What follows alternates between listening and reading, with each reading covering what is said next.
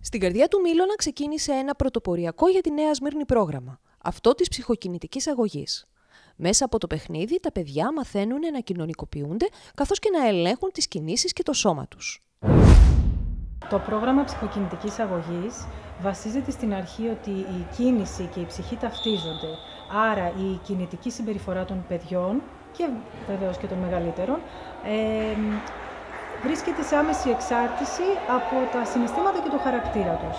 Γι' αυτό και το έχουμε στήσει όλο με κινητικά παιχνίδια, ε, δραστηριότητες έκφρασης μέσα από τη μουσική, ασκήσεις αδρής και λεπτής κινητικότητας, ε, οπτικές και ακουστικές διακρίσεις. Έχει πάρα πολλά αισθητηριακά ερεθίσματα με σκοπό τα παιδιά να μπορέσουν να εκφραστούν μέσα από την κίνηση και να ε, επηρεαστεί ολιστικά η ανάπτυξή τους, δηλαδή ε, όλες οι πτυχές της ανάπτυξης, όχι μόνο η σωματική.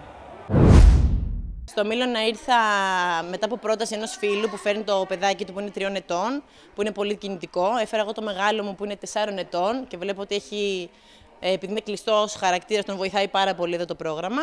Και επειδή αυτός ο μικρός είναι πολύ κινητικός, πίστεψα ότι θα τον βοηθήσει και αυτό να ε, εκτονωθεί αρκετά.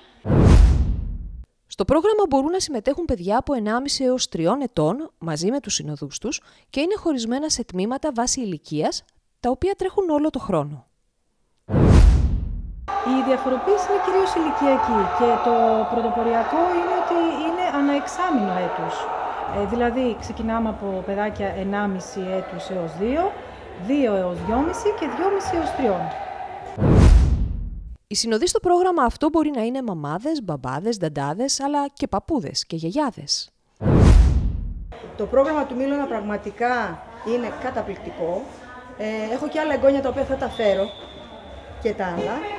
Ε, και πάμε πάρα πολύ καλά. Έχω δει μεγάλη διαφορά στο παιδί όσον αφορά την κοινωνικότητά του, τις δραστηριότητές του, τις κινήσεις της, πάρα πολύ καλά με τις κινήσεις της.